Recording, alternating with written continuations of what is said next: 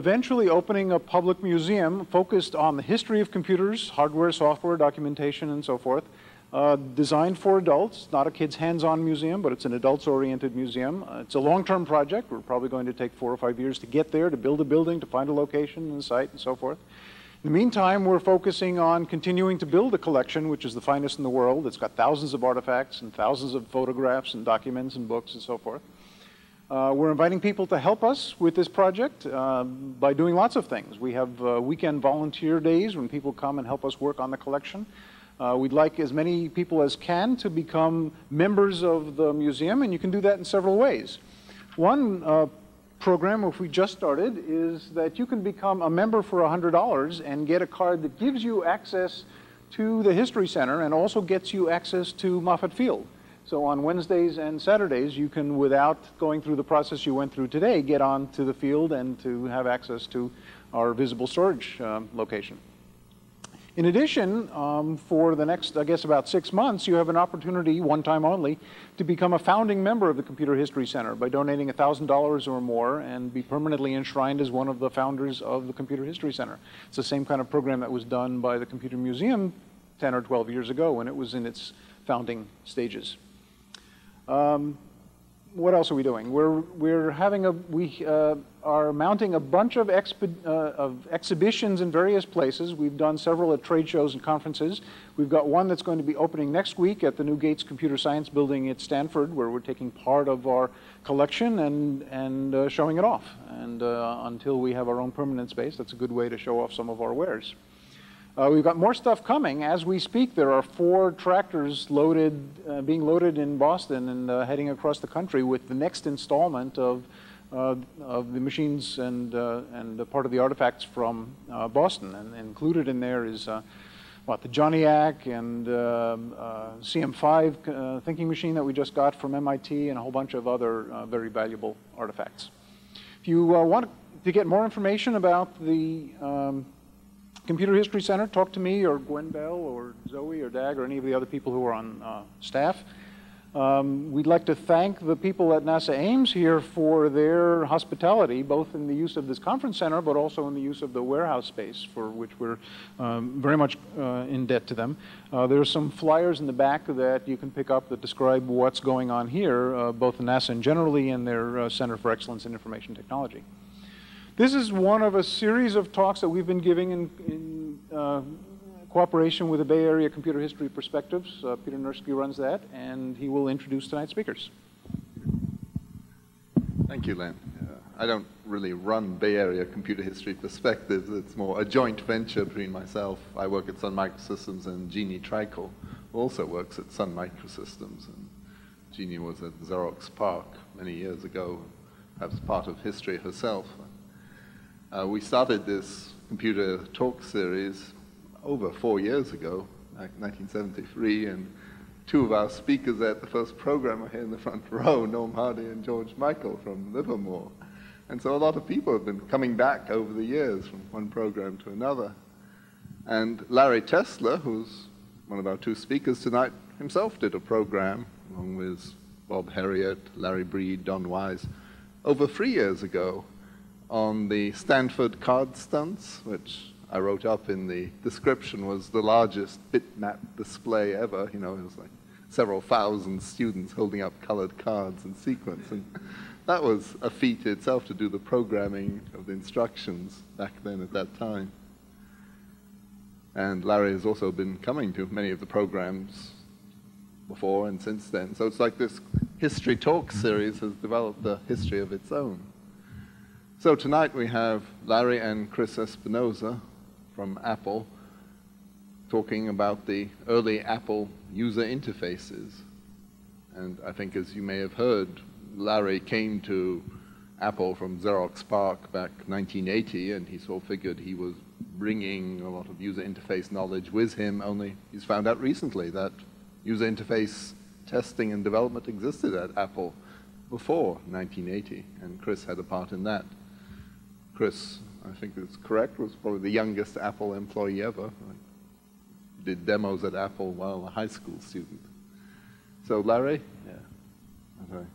Pass the mic. Where's Larry? There you are. Okay. Yeah. ready to begin? I already have one. Oh, okay. Thanks. Let's see. Is your tape in there, Chris? Or out? Okay, fine. Good. Put mine in here.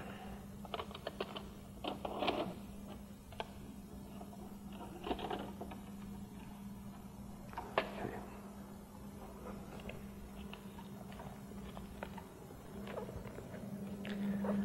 Okay, well, glad to be here. This is uh, a talk actually that's based on one that Chris and I gave at Apple back in July. And uh, we got clearance, thankfully, from the Apple lawyers, which came about two or three weeks ago. so we could give it here just in time to announce it. And we're, we're grateful to uh, Apple to uh, release this for uh, uh, public disclosure because we think it's of general interest. Um, asking about what was early user interface design at Apple is kind of like asking about early engine design at Mercedes-Benz or something. Uh, everybody was doing it, so depending on who you, you could have gotten a lot of people up here to give a talk and you'd get different perspectives on the same things that happened. So today you're going to get the perspective of a couple of us. To get it to be a little more grounded in something more closer to fact than, uh, than opinion or perspective, uh, we're trying to use as much as possible actual original documents that, uh, that were created at the time. So you see actual contemporaneous uh, thinking as it was going on instead of just our memories, which uh, fade over time and, and tend to aggrandize over time and so on.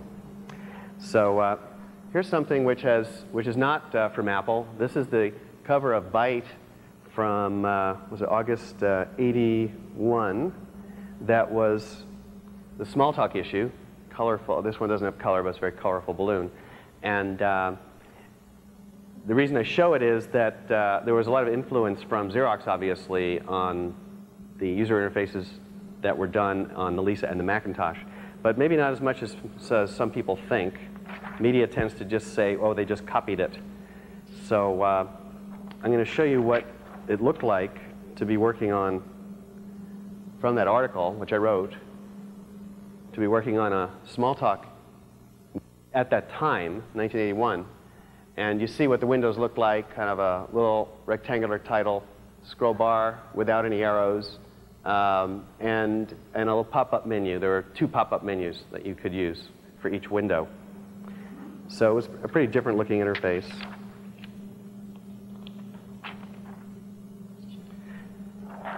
And one of the principles, though, that was in the Smalltalk environment was uh, to have no modes.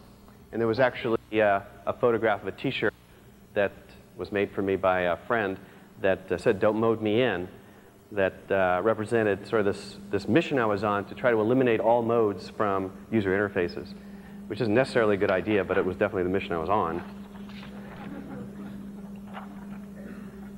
And at the end of that article, it mentioned that Apple Computer had gotten a license to Smalltalk and was maybe going to do something with it, but maybe not going to do anything with it. And uh, in fact, uh, Apple and Hewlett-Packard, Digital Equipment, and Tektronix all did do various amounts of Smalltalk development after that. But it was really independent companies that, that managed to make Smalltalk somewhat of a success.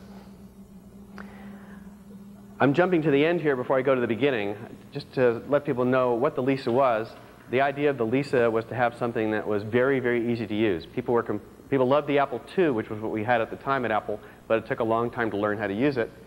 And uh, what we wanted to end up with was something that was easy to learn. And just to show you that we did do that, this is a study done at the end where there were 18 subjects, six using Lisa Graph, six using Lisa Write, Lisa List. Lisa Graph was a business graphics program.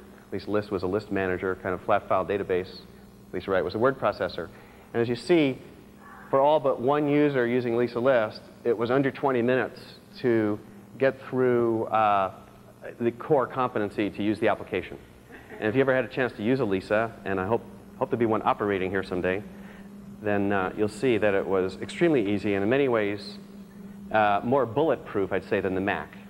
Not simpler than the Mac, actually, but, but uh, we loaded a lot of things into it to try to make it so people couldn't get themselves in trouble.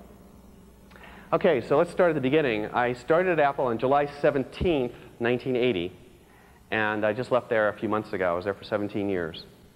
And this memo was written on July 18, 1980. So one thing I discovered when I left big Xerox Corporation and went to this little Apple startup was that uh, you just really get engaged immediately and they put you right to work. And one thing I was told the day I got there was that uh, the user interface design was basically done and we were, they were just going to you know, write it up and finalize it and implement it and that was the end of it. And it was too bad I took so long to show up uh, at the office because they were hoping I could have contributed to it, but now there was no time left to do that. And this was the 18th, and they told me that all the decisions had to be made by the 23rd, and by one week later, the external, research, external reference specification had to be done, which was the complete spec. But we couldn't compromise quality at all, and, uh, and so what could I do between the 18th and the 23rd to make sure we made all the right decisions? So I started explaining how it was really necessary to do months of user testing, and uh, careful iteration, and I gave my whole spiel about the right way to design software, and uh, they said, well, sorry, we only have five days and there's a weekend in there. so we got together and we came up with a compromise, which was to lay out a schedule that was very aggressive, and people promised that they would meet their part. So let's go through the schedule. This was the 18th.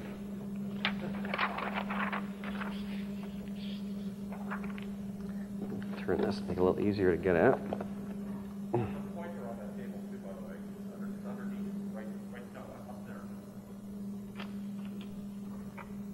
This? No. It is? Pull.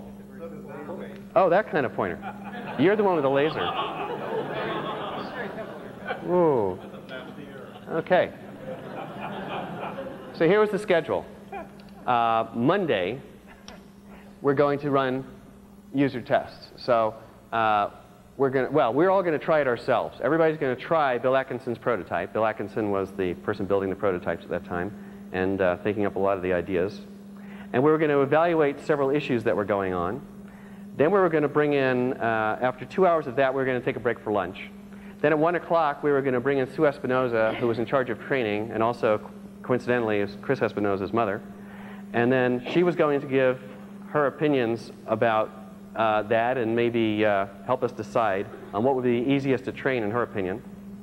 And then at 2 o'clock, we were going to discuss for an hour a couple of more issues, and now we would be done. We will have discussed all the issues. And then between 3 and 5 o'clock, we would present this all to Steve Jobs, and Steve would make the decision, which, which uh, we knew would be definitely forthcoming. and then on Tuesday, we were going to take the things that Steve liked and we were going to test them on subjects from 9 to 10. Two subjects. Two more subjects from 10 to 12. We must have figured we'd be slowing down by then. 1 to 3, we'd evaluate the test results. So that was it. Okay, so remember that was supposed to be uh, July 22nd. Okay, so now the rest of the, for the next 15 minutes or so, keep in mind that that was the schedule for July 21st and 22nd. Okay, well, we actually did that. We did all those tests. We did talk to Steve Jobs. He gave his opinions. We did some more testing. And then Bill went to write up a, a user interface specification, external reference specification. Uh, I was a little worried because we hadn't really done extensive testing, but we tested a couple things. So this is dated August 6th, which was, uh, as, you know, as you may notice, uh, a few days later than the deadline date that we had provided, but it took a while.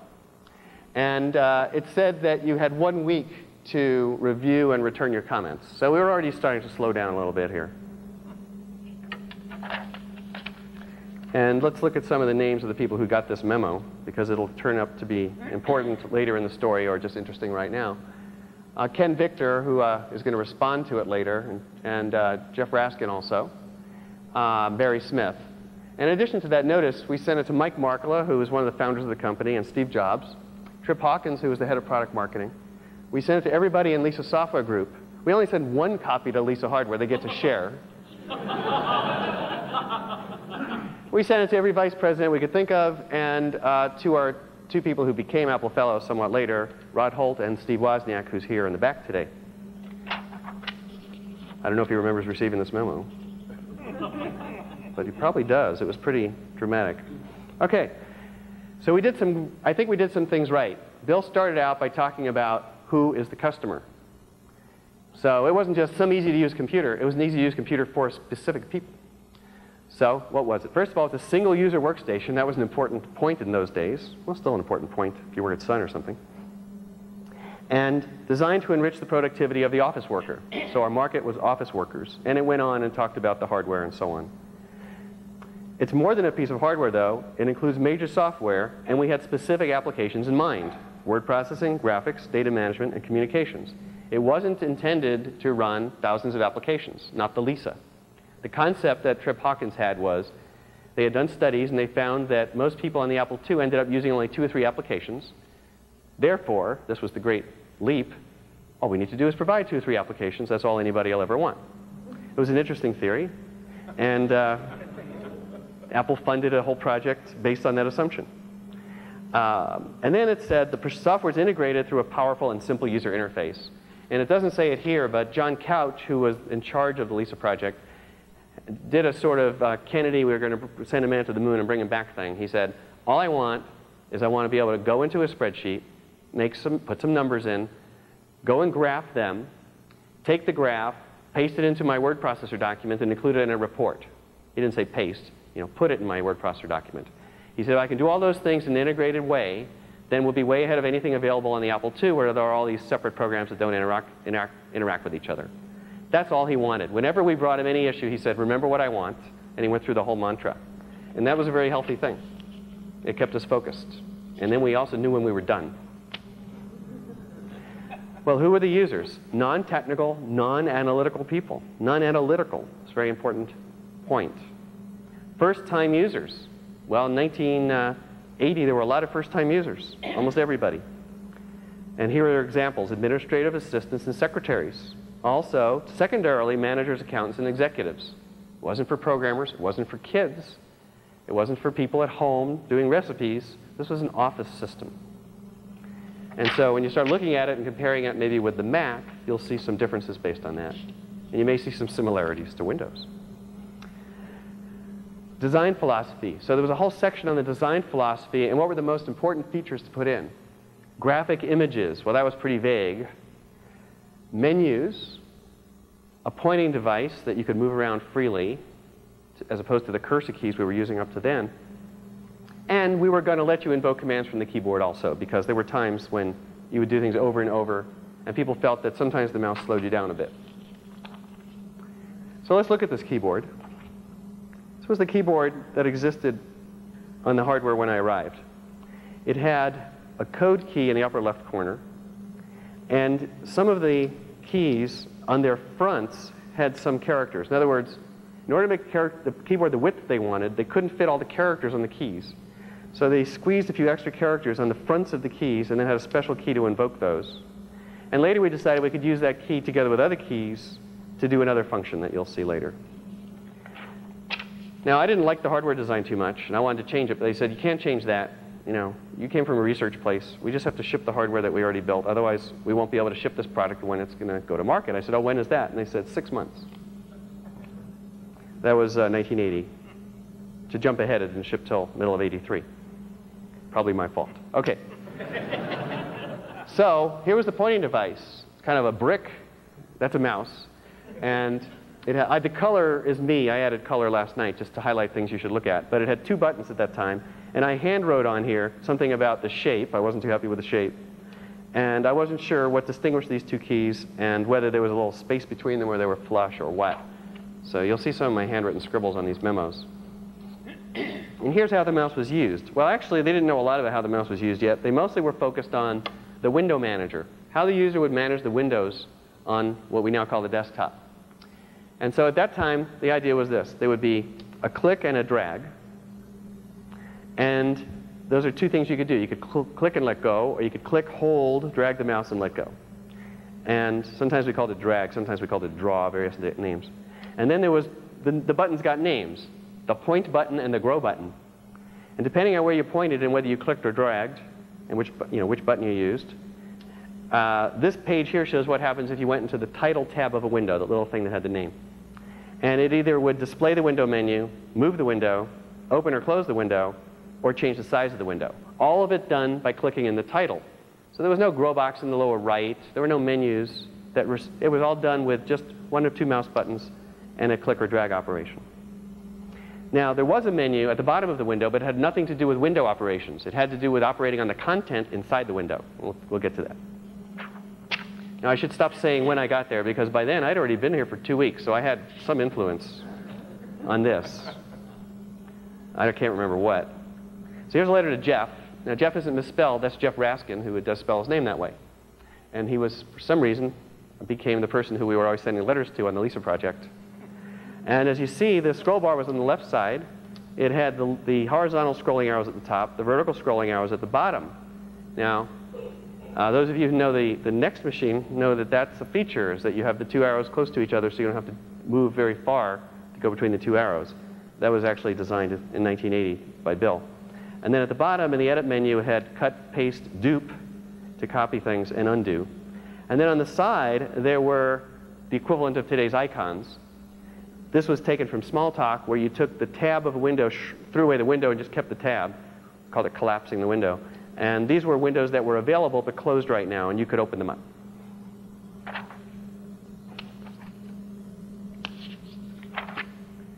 Okay, then we had this idea of fill-in menus. They're what, just to jump ahead, they're what we call dialog boxes today. And there were two kinds. There were kinds where you somehow open a submenu and you get to type into that submenu. Don't ask me exactly how. And uh, the other was where it actually opens up a big box like we know today. That was this thing called forms. And so it was a kind of a vague notion at that time. No one had actually drawn any pictures even of what those looked like, I think. And again, we said that menu commands can be invoked from the keyboard. And I put a little note saying disagree somewhat. And I wish I could remember what I disagreed with. I think I was afraid they would do too much keyboard stuff. They were scroll bars. And you uh, would hold a button down to scroll continuously. Now, there was an interesting idea here that you could double click to flip to the next page. Now, if anybody that knows about uh, user interface design with, with single and double clicks, usually you make it so that when you click once, you can start doing something. And then when the second click comes, it doesn't sort of negate what you already started to do. This is kind of interesting because if you clicked once, it would sort of start to scroll a little. And then when you clicked the second time, it would realize you wanted to jump a lot. So you'd get a little motion and then a jump, which actually might have been kind of cute. But I don't think we ever implemented it. Uh, then there was something in the, called the elevator shaft with the elevator in it. And that was what uh, is still today, that little box on the, in the scroll bar that you see. There was the abbreviations window. That was that code key. We had to find a use for it. So you could type code and then hit a letter on the keyboard. It would look up in a table and expand your abbreviation. This was kind of take, the kind of thing you'd find on a Wang word processor. So we put that in because this was for secretaries. Then there was something called the system error window. And uh, that's what you now know as alert boxes in Mac and Windows. And these were things that would come up when there was a problem and it would make some kind of beep and it would tell you what the problem was. Uh, so I put a little question mark here. Is the system frozen when that comes up? Can you do other things? And we eventually decided it was modal, but actually that took quite a while to decide. Now we talked about testing. We said that the design's already based on studies of user reactions to various models, and as you saw, we did three or four hours of testing. And we're going to do more testing and avoid any glaring design flaws. I was happy that that was put in because that meant we could go and fix some more problems than I was sure was there because we hadn't done enough testing yet. So what did it come down to? This is what it looked like. The basic model was overlapping windows, which is right from Smalltalk. There was that box at the top, just like in Smalltalk, that little title bar. The scroll bar was on the left, just like in Smalltalk, only instead of just that little box, there were the scroll, the scroll arrows there. We thought it would be nice to have something to point to. In Smalltalk, you pushed the button and then the arrows appeared, and we thought that was a little weird. And there was this menu at the bottom. Now, if any of you, who's ever used a system called UCSD Pascal? If you remember, uh, there were menus in UCSD Pascal, and you would type the first letter of the menu name, and it would bring up a submenu, and you type the first letter of menu name, and you go through a hierarchy of menus. Now, also there was a machine, ooh, I'm going to forget, going to forget the number, a Hewlett-Packard uh, computer, 2000? Uh, no, it was a later model than that, HP something thousand that had a row, of, a row of function keys on the top of the keyboard, and at the bottom of the screen, under each key, still have it. Still have it. Uh, were, and if you hit that key, that would activate that menu item. These were the two products that, that the authors of this interface knew the best. They used UCSD Pascal to do their software development. Half of them came from Hewlett-Packard. And so this was kind of a blend. And so you could, they had function keys at the top of the keyboard that you could hit that would make, invoke the corresponding things. And they also had these hierarchical menus that were straight out of UCSD Pascal. Not the little pop-ups that were in Smalltalk. So that's where it was in August. Cut and paste were two of the commands in the menu. That came from Smalltalk. And as you see, there was a waste basket. That's what you call the clipboard today. We used to call it the waste basket. Different from the trash can, which was a confusion we had later, and that's why we changed the name. But when you cut something and went in the waste basket, like in the office, you cut something and throw it in the waste basket. But then you could take it and paste it somewhere else. And it was sort of a weak metaphor. But, and so you'd select it with the mouse. Notice that when you select it, there's this little arrow here. That turns out to be a significant point later. I'm moving fast because there are a lot of slides here. Now, Ken Victor, remember, is Ken here today? No? Ken was one of the reviewers of the document, and he provided some input very, very quickly. And he said, uh, why can you only select it with the mouse? Now, this, he must be someone who used Emacs or something. He wanted you to be able to select from the keyboard. You know, fourth line, third word, seventh character, you know, you should be able to specify what you want. And uh, fourth occurrence of the word Lisa, you should be able to say things like that. And he was maybe years, either, you know, he sort of didn't get it or he was years ahead of his time, uh, whichever way you want to look at it. But it kind of, this is what he would like to use. And we had to sort of explain to him that our target market didn't want to find the fourth occurrence of Lisa in the third paragraph. Uh, they could see it with their own eyes and select it with the mouse, and that was just fine. Now, here was something I wish we'd listened to. At this point, it said that you were growing windows from the lower right. Now, I showed you something before showing that you grew it at the, grew at the top. I think in this document it was sort of ambiguous whether you grew it from the top or the lower right. And he didn't like that idea. He wanted to be able to grow from any side. And uh, I do think that's better, and we didn't pay any attention to him. I think we were worried about screen space being too tight or something. Moving a document within a window, he wanted to know whether we could do what we now call live scrolling. As you move that elevator up and down the shaft, he wanted the text to move continuously. Problem was that the Lisa processor ran at, what, a quarter? Five megahertz? It didn't even seem that fast to me. Couldn't do it. So some things were just pragmatic. He didn't like the idea of cut and paste. He wanted us to use move, copy, and delete, and transpose. Excuse me. Just getting over a cold. In other words, that you'd have two things you would select, move this to there, copy this to there, transpose these two things. Well, this wasn't the first time I'd heard that argument. And in fact, this is one of those religious arguments like one button or one versus two buttons. Do you want cut, copy, paste? Do you want, do you want uh, move, copy, delete? The reason we went for, well, you can argue either one. Uh, it is two steps to do cut and paste, but there are a lot of advantages to it. Uh, one is that you know, move and delete sort of start with the same thing. Uh, some people think that's good, some bad. Another reason is that you don't have to be able to see the destination when you are copying or cutting the source. That's the most important thing. And on a screen of limited size, when you have windows overlapping, it's sometimes very hard to get things all lined up so you can specify two targets or you have windows popping up and down, you get very confused.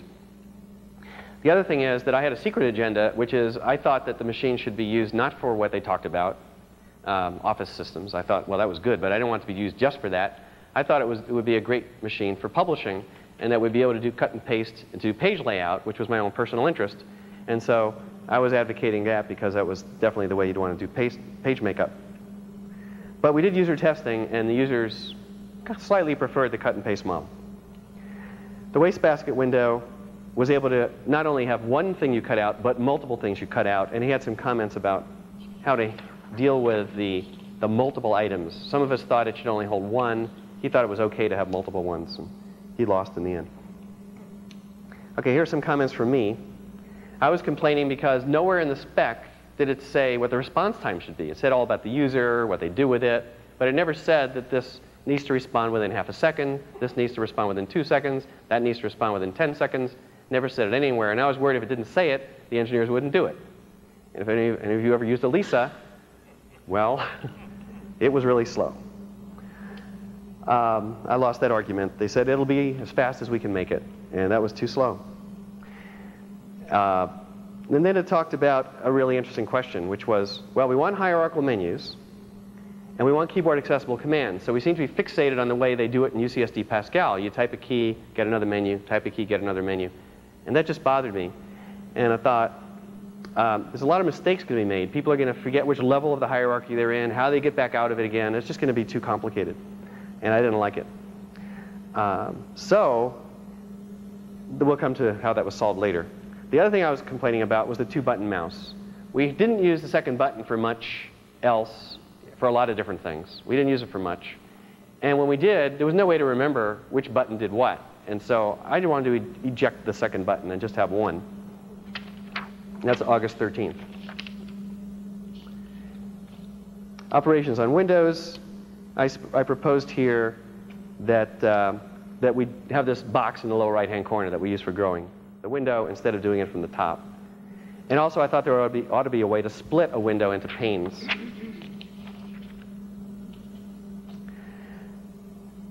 And then I had a whole section here about moving a document within a window. I go and talk about uh, scrolling and why I don't like the way it is. And then I said, why don't we put, you know, one arrow at the top of the scroll bar, one at the bottom of the scroll bar. And I actually prototyped it. Those, those of you know the, who know the Xerox Star know that the Xerox Star had that feature. Uh, those of us who were from Xerox were under a confidentiality agreement that we weren't allowed to tell the other Apple people about the Star. And so as you go through this, you'll sometimes find that things seem like, isn't it an obvious solution? You could have got it from the Star, but none of us were able to say why this, how the Star was. We were only allowed to comment on other people's proposals and uh, make new ones and it was an interesting kind of dynamic. But uh, gradually over time, a few, a few star-like things crept in, but not many until the star actually shipped or was announced in June of 81. But here we are in 1980. Then I suggested we try an eye-shaped cursor uh, for text selection instead of an arrow. And that actually is something I had done in my early years at Xerox in a particular word processor I'd done. I also said I wish the cursor would be bigger than 16 by 16 to go to 32 by 32, which which we eventually did. Menus, this was what, August uh, 18th? I think we should experiment with menus at the top or right of the window, or even totally detached at the top of the screen, full width. So up to this time, we were doing sort of the way Windows does, and every window had its own menu. And I was thinking, you know, maybe we ought to put it at the top, and you'll see why in a minute when you see the pictures. And then I said, hierarchical menus, well, maybe we have to have them. We can't get rid of them, but could we make them mouse accessed instead of having to type all these keystrokes? So these were my two causes of the moment. Barry Smith, who was in product marketing, responded about the same time. And he said, um, at this point, Bill had moved the menu bar, that edit, cut, copy, paste thing, from the bottom of the window to the top of the window. That was the change. And Barry liked that. He likes them a lot better near the top. Call them near the top. And then he wanted to know, though, what would happen if there were a lot of menu items. And could, you, could the menu scroll? And those of you know the history of the Mac user interface know that at some point, I don't know, 1990 or so, or we started adding scrolling to Mac menus. But we didn't have them in the early Mac or in the Lisa. And I was against it because that would have encouraged people to have a lot of menu items, and I didn't think they should. So I kept that from happening. Uh, you can't constrain people, though. Um, he also did not like the fact that you had to type multiple keystrokes to do a hierarchical menu, and so he was thinking maybe we could get to something where it was a single keystroke to invoke a command no matter where it was in the hierarchy. And I think Bill was, was experimenting with that at that time. And he also didn't like the two-button mouse. He thought it was confusing. So August 18th, I guess that was August 13th before, so a few days later, um, after intense political, polite discussions, heated sometimes. Bill and I decided, hey, let's get rid of the second button. Let's shake things up. One button mouse. So we wrote this memo together so that uh, people knew we were real, real serious. Uh, wrote it, sent it to uh, the usual suspects. And we say we recommend a change to a one button mouse. And whoever wrote this comment, and I'm glad I don't know who it was, said, well, maybe not sure that's a good idea. But it turned out Trip Hawkins, who later went on to found Electronic Arts and 3DO, was the product marketing manager. He loved it. He said, that's what we got to do. We got to think more kind of consumer oriented, really simple, get rid of all this, you know, computer science concepts and give, give people something real simple. He liked the one button. So after that, we had a period sort of of goodwill where we were able to, to do user interface design without a lot of complaining, which ended after a while, as you'll see. Um, well, if you only have one button, some things are hard to do. You can drag a short selection, but what if you want to select something three pages long? It's a long time to drag from one end to the other. So we thought, okay, well, we'll use a shift key on the keyboard. Since this doesn't happen very often, you'll click the beginning of the selection, you'll scroll to where you want to go, hold down the shift key and click the end of the selection. So that's where we got the shift button thing, adjusting selection. And then we said, the one button mouse is superior. Look at the reasons. Superior human factors. You don't have to think of a name for each button. That's important when you're trying to ship product in six months. The mouse will be cheaper to make because one less button. I mean, just think of what the cost of that little, little switch is. Um, it'll be, and something a little more profound, someday when we start having other things than mice on our computers, like joysticks for games, tablets, touch screens, uh, we'll be glad we only had one button because that, that one finger or whatever or pen that the user is using is the button. And uh, that turned out to be sort of prophetic, although very few such pointing devices take advantage of that, in fact. They usually have buttons anyway. Okay, so August 22nd, there's a revised version of the uh, user interface. And it says, this is it now, we're done. So now, instead of a week, you only have three days to return comments because we must be done. There couldn't be more than one or two comments. They're probably just typos or something by this point. We were working on this interface for a month already. Okay, so what did it have in this version? Uh, had a concept called dim highlighting. This was introduced for the first time that I know of here. That if uh, some of the menu items instead of eliminating menu items that weren't relevant, which we would dim them, we would we gray them out. Instead of being black type, they'd be kind of in gray type. And then we said they can be evoked anyway if the user wishes, although they wouldn't do anything. And, uh, and we also were going to use dim highlighting for another purpose, which was to show toggles. And as you know, that was later changed to have check marks instead of just using this for two purposes, because that was very confusing. But at that point, we thought we'd get away with one mechanism for both things and it was Occam's razor. If one mechanism will do, don't, don't have two. Well, it turned out that one didn't do, so we had to apologize to Occam. Now, as you know, you can do command keys on the Mac or Lisa keyboard, and you can invoke commands from the keyboard. And we knew it was important to reserve some for the most common commands, because it might be okay for an application to use, you know, Command, Shift, J for something, but we wanted to be sure cut, copy, paste, undo were the same for everybody. Bold, italic, underline, and normal. We thought these would be used the most.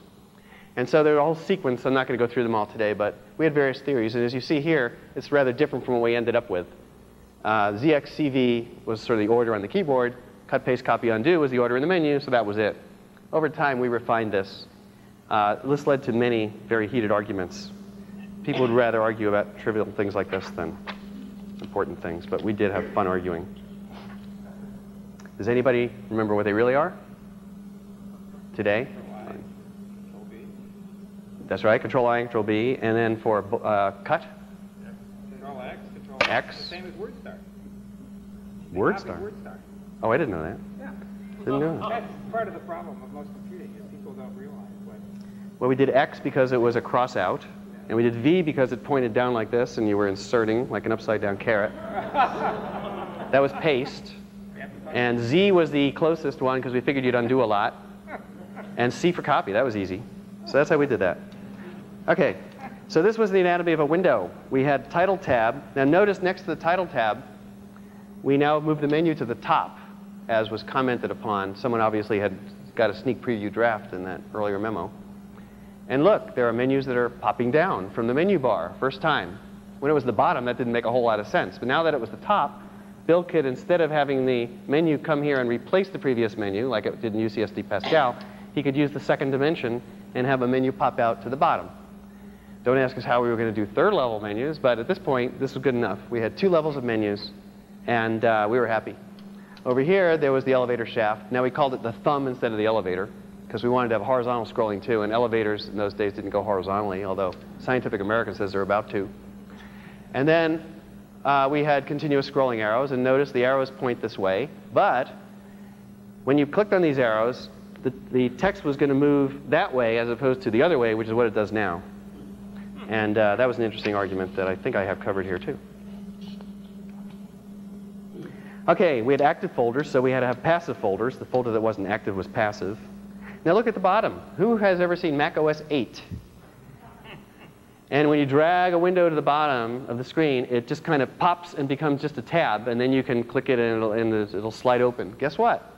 That was in the original design in August 1980, uh, the, what we were going to do on the Lisa. And it only took 17 years to implement.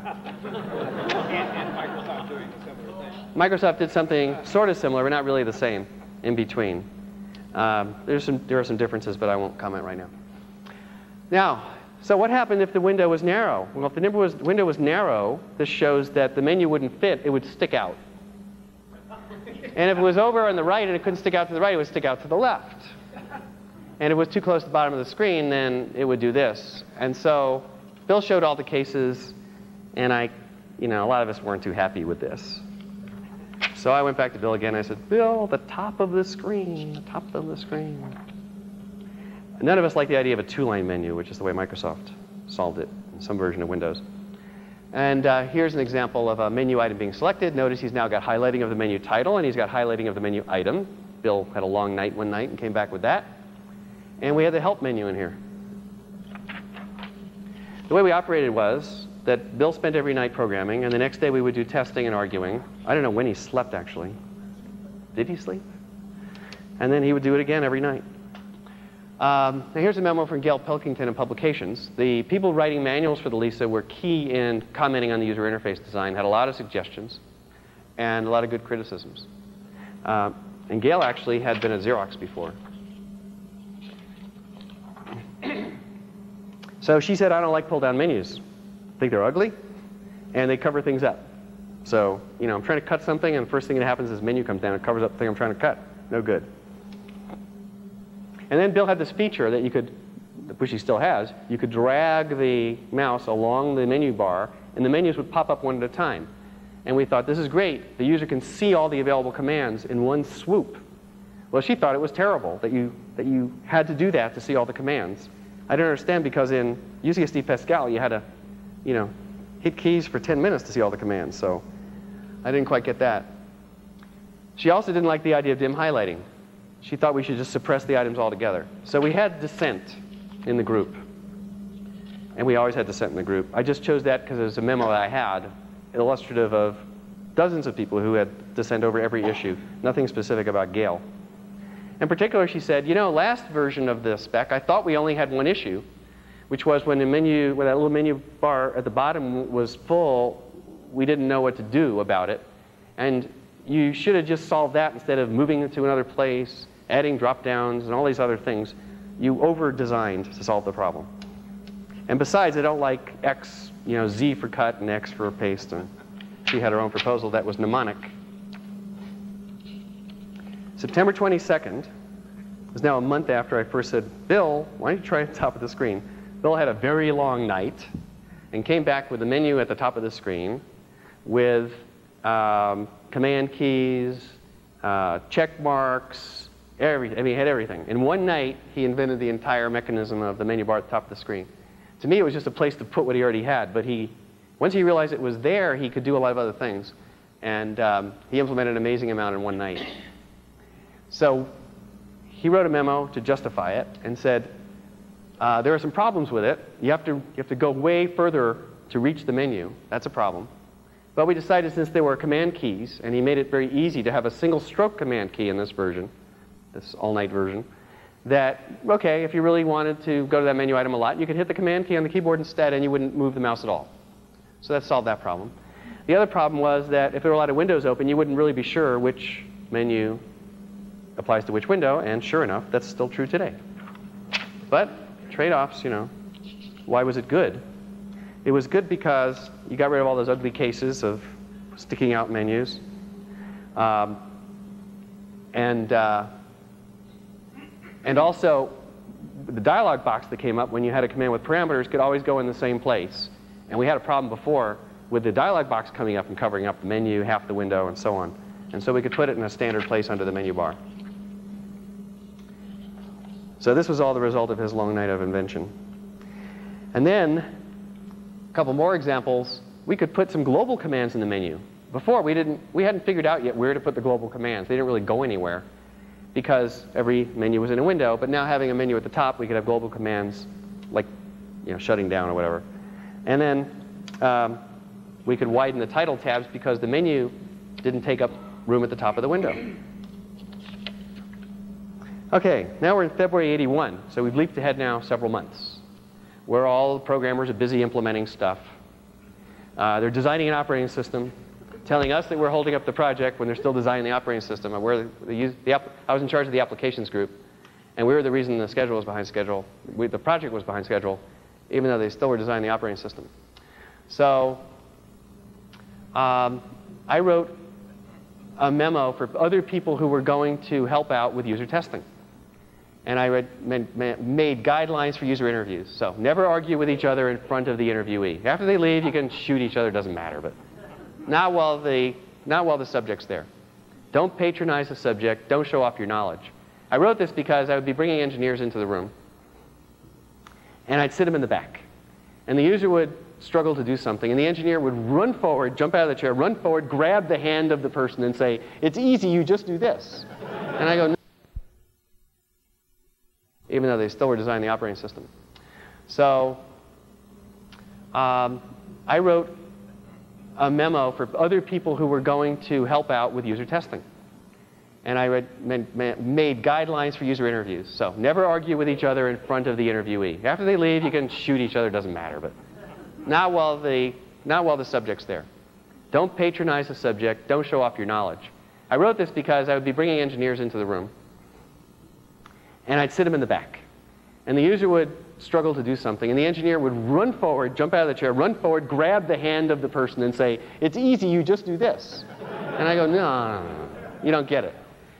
So um, we tried gags, we tried all kinds of things. But finally I said, Look, I'll let you in the room if you, if you, uh, you know, observe these rules.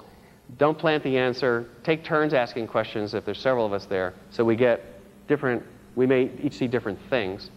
And mainly try to get them to do the talking. This is not a lecture by you, this is a test of them. And you want them to verbalize all they possibly can. So, um, typical thing that would happen is we bring somebody in to prove that the user interface thing they put in was absolutely right and we were totally wrong. And then the end user would usually prove we were both wrong. It was hard, to, both things were hard to use, and then we'd have to go back and redesign it. Or half the time the user would say, well, why doesn't it just work this way? And we look at each other sheepishly and fix it. Now here was an interesting one for those of you who do user testing. You, you don't, if you're going to name things, you don't just say, what would you call this? People paralyze, like, oh, you're asking me to invent a name. They just get totally paralyzed. They can't think of a name. But you say something like, uh, if someone were to bring you this, if you wanted someone to bring you this, what would you say? Bring me the, and then people would come up with something. It actually worked pretty well. So people have similar techniques I've heard for other things. April 3rd, 81.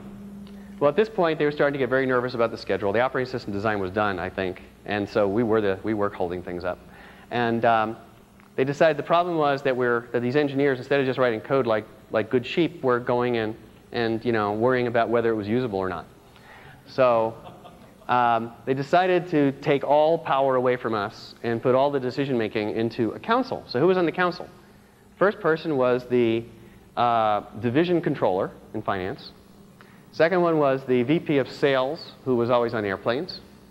Third one was the head of publications for Lisa, which was a good idea. Fourth one was uh, kind of the architect of the group. That was a good idea. And the fifth one was somebody in product marketing who you saw had made comments before that were pretty good ones. So you know, I was looking at this going, mm, okay, maybe we can live with this. But the main thing they did that was very good is we instituted a process for what to do if you had a user interface issue. Don't spend eight hours arguing with each other. Write it up, make your points, get back to work, and then we have a process for dealing with it. But the council will rule by majority vote. So I think, what a way to design a user interface by majority vote of the controller, the sales VP. Okay. but we started, this motivated the, those of us who decided we had to do this the right way to actually run more user tests. We thought, well, maybe we can overwhelm them with facts and that'll overcome this reliance on, on, uh, on votes of committees.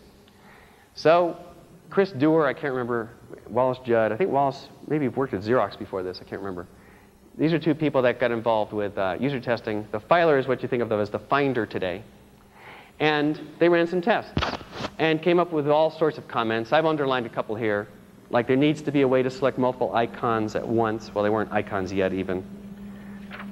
But ways to manipulate multiple things at once. Um, but basically, after making some comments, they said, you know, this is a good idea. Their, their own personal experience with testing was that you hired a testing firm, you spent a lot of money, three months later you came back with test results, and then you did some things, and then you did it again. You know, it took forever. And they said, you know, or they used, uh, or they, or they would take a book and give it to a subject, have the user read the manual, try out the manual, videotape the whole thing. And, and uh, she said, you know, this wasn't bad, just sitting down next to the user, and having a dialogue with the user, trying to get the user to talk and express what they're doing, is not a bad way to do it. So that was good that we, we got the, the people doing the user testing to adopt this much simpler and cheaper paradigm.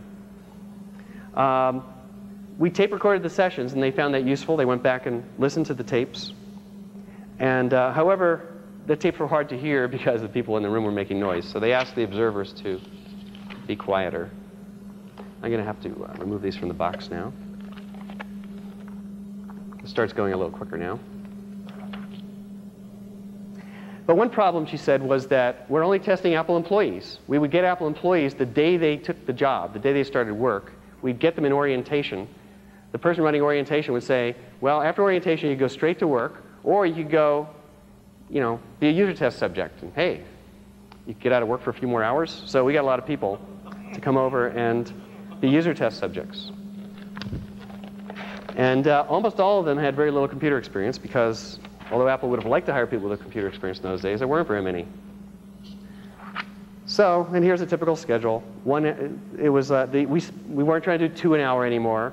One person at a time, one each day, uh, 9 o'clock, 1 o'clock, 3 o'clock, much more civilized. And, uh, and we had a checklist that the uh, tester went through. Before each session, have you reminded the subject uh, of whatever, I have no idea, whatever they're supposed to remember, there's some list. Is there coffee available? Do you have a blank questionnaire ready for the person because we had them fill out a questionnaire at the end? Do you have the checklist ready? Have you rewound the tape? Have we, re have we rewound, rewound the tape for this talk today? Have you rebooted because it crashed if you didn't? Uh, are the cue cards in the testing room, etc. After each session, did you cover up the Lisa again because the room had a window, and at night you could see in the window and see the secret Lisa machine? Did you close the blinds for double measure, etc., cetera, et cetera? So we had a lot of things to remind the uh, tester about. That's a good idea if you ever run user tests. Have a checklist. Now Wallace, the guy who received the last memo, wrote this memo about some testing results. And uh, he said he spent about an hour a subject, which was pretty typical. That's the way I like to do testing myself. And he said, well, some functions were still unclear. In particular, seven subjects out of how many? Doesn't say, but not a lot, uh, well, not very many. Most of the subjects had trouble with undo last command. They'd never seen such a thing in a program before, and they just didn't quite understand what it meant. Then there were other ones they understood, but they didn't feel comfortable with somehow. One was print a copy, one was mail a copy. Well, I believe the reason was that we didn't have printers yet on the machine, and we didn't have uh, email. In fact, we never had email. So we're probably just shown these and not really couldn't use them, and so of course they didn't understand them. Um, graphics editor user testing. This was Lisa Draw, which became MacDraw later, implemented by the same guy actually, Mark Cutter. And we wanted to test various things. Is it, was this confusing? Is that confusing? Can you use, what happens if you try to use rulers at the same time as crosshairs? Is that too many things on the screen? And considering all the widgets that are there today in a Photoshop or something, why were we worried? But Uh, there was even worry about whether people could use a graphics program because, well, you know, people, most people can't draw, so they wouldn't use a graphics program. And uh, we also want to know the error rates. And so a lot of counting was being done and looking at tapes to see how many times people made errors and try to reduce the error rate. So we're trying to be sort of scientific even though we were on this headlong schedule. You may have noticed that six months have already gone by and we haven't shipped. In fact, it's about a year at this point. Okay, so June 81, Pat Marriott um, writes this memo about validating the prototypes, and Trip Hawkins at this point is at his wits' end. He says, aren't we done with all these decisions yet? Let's get on with it. Why are we still talking? Okay, but here are some of the issues. Should the arrows point apart, away from each other, or towards each other? Because after all, the text moves in the direction that's opposite of the arrow direction. We could flip the arrows and make them point to each other. Uh, and I wrote a comment here, ah, we can wait till September to test this, no hurry. I wasn't in sync with product marketing who wanted all, all the decisions to be made because I knew that changing this was a matter of, you know, about three minutes of programming. So what was the hurry? I'd rather work on harder issues like, you know, getting the software to fit in memory or something. Um, and there were some questions about clicking in folder. Click, oh, by the way, the word folder, when you see folder here, we used to call Windows folders. I forgot to mention that earlier. It might have been confusing here.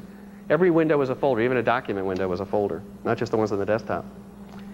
And um, we wanted to test, we wanted to uh, do some tests on that.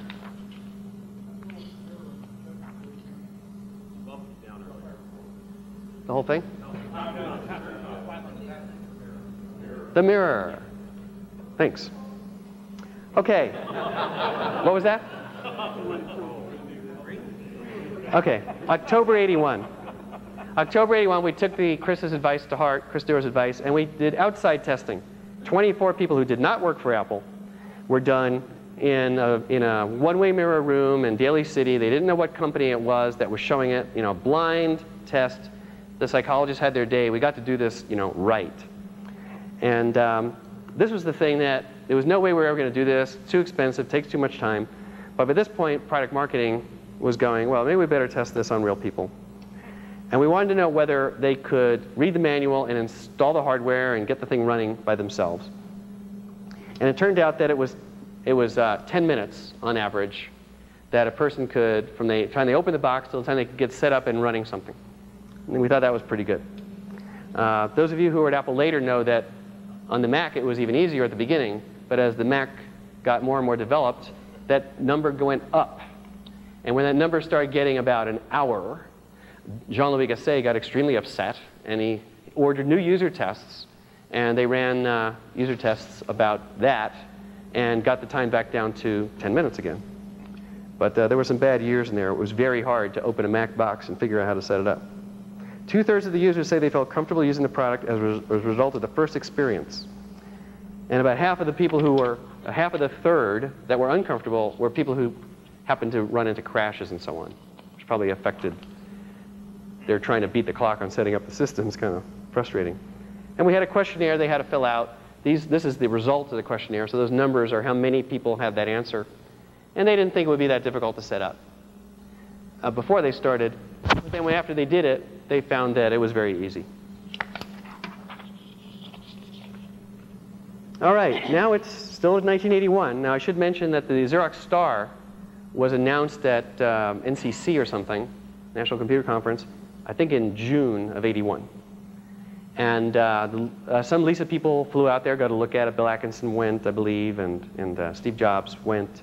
Or maybe he sent Bill and didn't go himself. I can't remember. Um, at this point, we had a guy named Greg Stikeleather uh, who had joined the group, working for Ellen Nold in the training, Lisa training. Some of you may know Greg because he's, he's uh, recently, more recently been an entrepreneur, sold a couple of companies.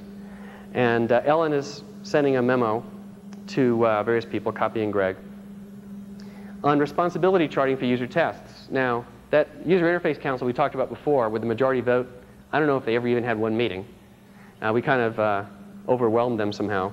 And by this time, a few months later, we had to have a new process. So the new process was that based on some lecture we all went to by some management consultant, we were going to have people with authority, people with responsibility, people who are consulted, people who are informed, and basically product management had all the, had all the authority since, uh, since Ellen worked for them. And engineering and training, which is Ellen's group, had all the responsibility. So we did all the work, and then product management would bless it and say that. Okay, February 1982. Year and a half has gone by. Um, engineering user test. This is a sample test. We had this is a write-up of a test. We had a standard form to write them up in. Now we're getting real formal here, not just you know run into Steve Jobs after the test and tell him what happened. We were we were writing you know formal reports, what the person did, how they did. I'll skip over a little bit of this. Oh well. The person had to draw, draw an org chart, and here, not having a graphics program myself that had printing working yet, I was doing it in the word processor and drawing little org charts here, but they were really doing it with a, with a drawing program. And by the way, the thing that won over the product marketing people was when we gave them the drawing program, it was the first one to get working. I had Mark Cutter just try to get it really reliable and don't worry about too many features. And then we gave all the product marketing people Elisa, some temporary operating system, and the drawing program. That's it. And it was a single tasking operating system at that time. And, uh, and they all started using it to make foils. And you could do text, you could do boxes, you know, and they all did foils. And they fell in love with Elisa, and they even started to understand Elisa. And gradually the complaints started dying down, and they started trusting like maybe we knew what we were talking about. So that was a very good political move. And uh, I always made sure Mark gave them, you know, good stable versions of the draw program. Uh, they draw a floor plan, and then at the end, they had comments to make, and you could see that the comments were, were summarized, and people were basically really positive about this program. Sometimes there were complaints, and we addressed them. Now, this particular test was, I guess, run by Greg Stikeleather and me. He probably ran the test and I was in the room, or sometimes we switched off. And uh, he made a comment, which was that I-beam, which was the cursor that you used to select text, when the person would start typing, that little cursor was covering what they were typing. So he suggested that we get rid of it. Well, there was no mechanism to get rid of it in the software, but he didn't know that. And so it was good that he was there and he suggested it. And we then implemented that. Um, and I, I, pointed out that uh, the stretch handles were a problem. Initially, what Mark had done was he studded the outside of your object like every fourth pixel with a little handle. So big objects had you know, beads all the way around, around the outside. It was like a necklace. And um, this really confused the, the people. And I suggested we just have the four corners and the four sides, and that's all. And that is the way it ended up. Of course, I'm showing you all the good comments. We had a lot of stupid suggestions, too. And now, remember we had user test guidelines before. Greg wrote some new ones. And uh, here, he was trying to address this to uh, people who might have been used to uh, formal user testing and had never experienced what he was calling development testing. And uh, you know, things you test after the fact and things you test while you're still in development. So he made some guidelines, and they were, interestingly, a little different from mine, a different level. And I think I didn't bring them. Just the fact that he did. Okay. All right, getting near the end here. Excuse me. May 82, a little less than two years since I arrived. I had just finished some, some tests. So uh, Greg said we should run development tests, so we did. We ran development tests. And I taught 30 Apple employees over a period of several weeks, several different applications uh, and to see whether you know, we were on the right track. And by this time, uh, people were accepting this as a good approach because it was a lot better to be informed by a user test than to just see who talked the loudest in an argument or who had the most, poli most political clout. And uh, what I found was that the way we taught it made a lot of difference. You could take the same user interface and teach it a different way, and people get real confused or understand it. And, um, or make more mistakes or fewer mistakes. And terminology made a difference also. So we then started a terminology project that Ellen Nold ran, which ended up, and I have many slides I didn't bring on that, and that ended up with the file menu, the edit menu, et cetera, as you know today, and uh, the various commands that were in them. You know, choosing all the words for everything that have pretty much survived into the Mac. Let's say 95% of them survived into the Mac, and uh, most of them went into Windows also. So that was a very healthy terminology exercise. We did a lot of testing and a lot of debating, a lot of linguistic analysis. And uh, one thing I say here is that after all these tests, I discovered a lot of things that could be better, but we do have to ship a product. And it's been a long time since I've been at PARC, so okay, we'll ship a product. But couldn't we fix these in the next release? Well, little did I know. There would only be one more release. And then uh, we had a process again where we were going to be very careful about prioritizing all the user interface changes and measuring their schedule impact and being sure they were worth it. Didn't have to be zero necessarily, but it had to be worth the, worth the schedule impact. I think by this time people were really realizing that our only differentiation was ease of use, and it better be really easy. And then I went through some problems. This thing went on, by the way, for about 30 pages, so I'm just going to show you one page. Cursor changes were not consistent, and there were cursors changing shape everywhere. The I-beam wasn't the only one. Like, no matter where you went in the window, you got a different cursor shape. And I thought, you know, that's too many. Let's simplify that. Uh, we had double and triple clicks at that time, and uh, some people, it was the amount of time between the clicks mattered, and you couldn't control it. So I suggested we add a preference item that people could control that time, which of course is what you do today in the Apple's mouse control panel. And I also had some comments about how you teach it. And in fact, when I looked at that whole memo, I'd say there were at least as many comments I made about how to teach it as to what it is.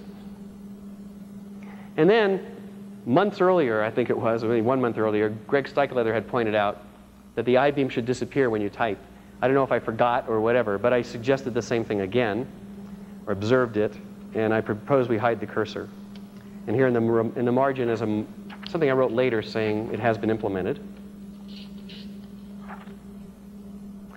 Um, if you're about the, we're, we're wondering about the cursor changing to a clock or an hourglass, various other things, that was something that was actually at Xerox. Xerox had that at PARC. And uh, the thing was, the way we did it was we would wait a certain number of seconds, and if the operation wasn't done, we would put up the hourglass. Trouble was, by that time, the operation was probably done. So uh, we, or some of the applications forgot to put it up at all. So we came up with some clever algorithm for having it come up automatically and, um, and uh, disappear at the right time and all that sort of stuff. Now here's the big change. The star had come out a year earlier than this, and we were all set, we were all told by management and ourselves, don't pay any attention to that. We've got a product to ship. But in everybody's heart, they kind of felt like, you know, most of the Lisa is easier to use than the star, but there's one thing about the star that is really, really nice, which is those, those little icons on the desktop. There was icon envy that was very serious, and we weren't allowed to work on it. But around um, March of that year, some of the guys got so troubled by it that they started working at home on weekends on an iconic filer, we called it. And at first it was a big secret, and they started letting people in on it a little bit at a time. And finally, everybody found out about it, and there was a major uproar that people would dare to make changes at this late stage. But they'd already implemented it. And so you couldn't complain about the schedule impact. and the person writing the manual thought it was kind of a good idea, so she kept saying it wouldn't affect her schedule. And uh, so uh, nobody knew what to do. So I said, so I made a deal with Trip Hawkins and Wayne Rosing, who was the engineering manager at that time. We'll run user tests and let the users decide. So I ran tests, and you know what? It turned out that the interface we have, which I won't bother to show you, but it was kind of a, more like find file, is the closest thing I can think of, uh, was actually equally good in terms of ease of learning, equally easy to use, uh, same error rate, very low. People understood both. There was no difference. And we already had one, so why did we change? And the, the last question I asked everybody is, which did you like better? And they all liked the picture one better. And so we made a decision that had nothing to, be, nothing to do with ease of use, nothing to do with ease of learning, nothing to do with error rate. It wasn't a human factors decision at all in the traditional sense. It was a decision based on what customers liked. And there's a whole history I won't go into here about the icons. They didn't actually come from the star. They came from something IBM did. I'm not going to get into that. Long story. You can read the uh, proceedings of uh, Apple versus Microsoft lawsuit or something to find that out. Okay, so this is my last slide here. So, and uh, um, this was a memo that included on it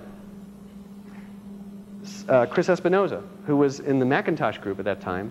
And the Macintosh people, who had been doing a totally different user interface, at some point decided they really ought to do some subset of the Lisa user interface instead. And so they wanted to get a lot of ideas from us as they designed their user interface. So we started copying the Mac people on it. And uh, with that, September 82, I'll turn it over to Chris. Yes? Um, you know, back in the days when uh, both um, ARMs were on the single scroll bar, I got to show the tape too. like the second mouse button to uh, move it in the other direction? No, you use one for both. Why don't we, if you want, we can talk about that after the talk. I forgot that I had a videotape here. Is that monitor turned on?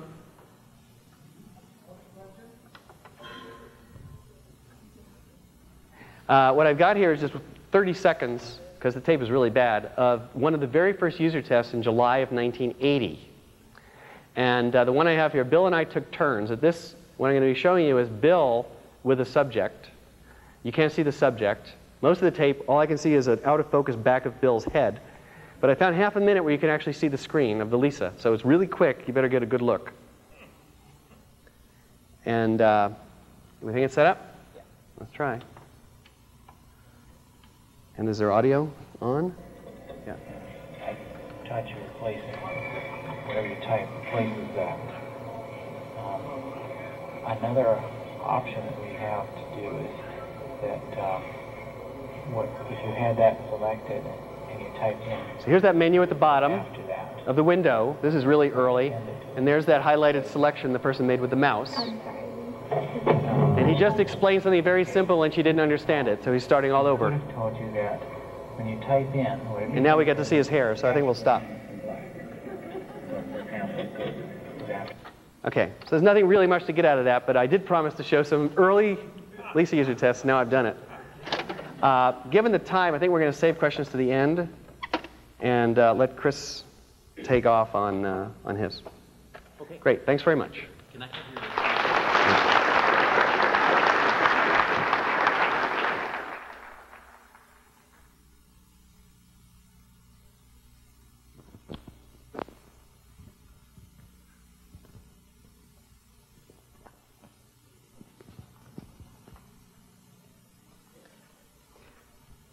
As Larry said, the, uh, the work that we did on the Macintosh human interface dovetailed with uh, the end of the, the very fruitful period of Lisa human interface design. I, can't, um, I cannot believe how much work they went through in a short period of months in the uh, summer of 1980 um, to put together what we still see today in the human interface of the Macintosh and the human interface in, of Windows. Um, but what was really interesting to me was that when Larry first proposed this talk to educate some people, new people at Apple, uh, from some companies we'd acquired on how the user interface came to be, that um, that a lot of the people he was referring to, a lot of the people who were co-copied on some of the documents, a lot of the work that they drew on, uh, really had nothing to do with uh, the graphic user interface, but had to do with a long-standing user interface community at Apple that had evolved in a totally separate organization through a totally separate strain. And that was the Apple II and the Apple III human interface effort uh, that was going on in the personal computer systems division, which was by that time physically remote down in the big black triangle shaped building at the intersection of 280 and Lawrence Expressway called the tr- Triangle Building, or by then the Bermuda Triangle, because it's where the Apple II group had been moved to die. Um, the, the thing that you really have to understand about the, the crucial difference between the um, Lisa Macintosh human interface effort and what was going on in the Apple II group was not the difference between the graphic human interface and the text-based human interface, though that was an important part of it. The crucial difference was that in the Lisa and the Macintosh, the engineering groups were completely integrated in and the driving forces behind the, making the computer easier to, easier to use. Whereas in the Apple II, the evolution of that had been that the, the impetus for making the computer easier to use and which programs were selected to make that had come from the publications department, the training department, and the department doing demonstrations for in-store retail sales.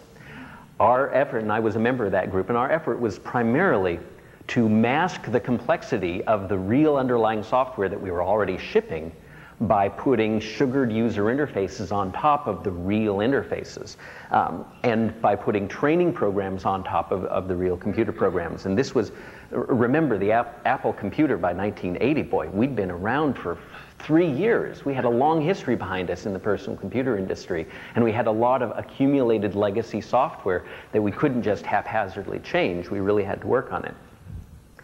So um, one of the documents that I have here is um, a document, I've got it on, on video here, although I don't think it'll be that easier to, easy to read. Um,